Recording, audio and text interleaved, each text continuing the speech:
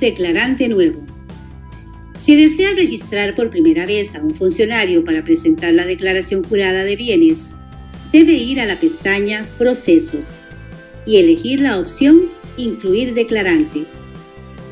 Primero se registra la información personal, la cual debe ser veraz y exacta. Al seleccionar la nacionalidad costarricense e indicar el número de cédula, de inmediato aparecerán los datos personales, ya que el sistema se encuentra enlazado con el registro civil. Verifique que los datos correspondan con los de la persona que desea incluir y continúe llenando los demás espacios.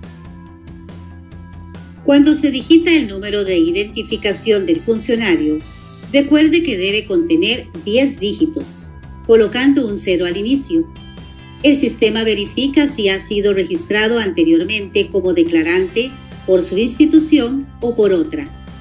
En caso de ser así, el sistema le indicará que el registro se debe realizar a través de la opción Incluir cargo. Cuando se trate de extranjeros, se debe completar toda la información de forma manual, ya que no se encuentra en el registro civil.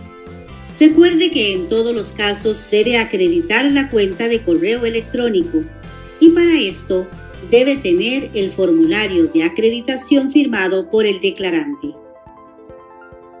Para registrar el domicilio, debe utilizar las listas desplegables que contienen la provincia, el cantón y el distrito. Además, debe agregar la dirección exacta bien detallada así como los números de teléfono actuales que el declarante haya proporcionado. En el apartado Cargo, debe seleccionar el cargo que corresponde de acuerdo con la ley contra la corrupción y el enriquecimiento ilícito y su reglamento. Es importante tomar en consideración que el sistema tiene una restricción que impide registrar como fecha de inicio de funciones una con más de seis meses de antigüedad si se presenta esta situación, recomendamos ingresar la fecha máxima que le sea permitida y comunicarse con la Contraloría General para realizar el ajuste con la fecha correcta.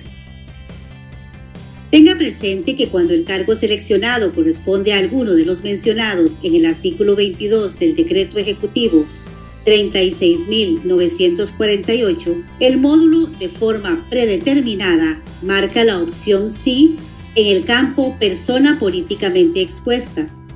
Cuando se trate de un cargo perfil o de otro cargo diferente a los mencionados en el artículo anterior, debe marcar si corresponde o no a una persona expuesta políticamente.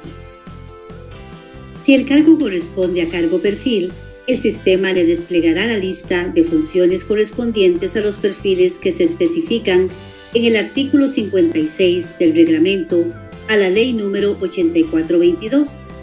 Se debe marcar la casilla o las casillas que corresponda, de acuerdo con las funciones que desempeña el declarante.